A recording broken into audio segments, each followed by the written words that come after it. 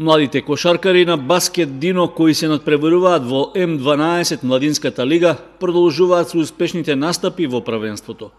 За разлика од своите повозрастни клубски колеги, тие имаат 100% успех во двете досега одиграни есенски кола и во моментот се на врвот на табелата. Кошаркарите на тренерот Сашо Лазаров на домашен терен се сретнаа со силната екипа на Партизан Водно Санс од Скопје и победија со 48 спрема 45.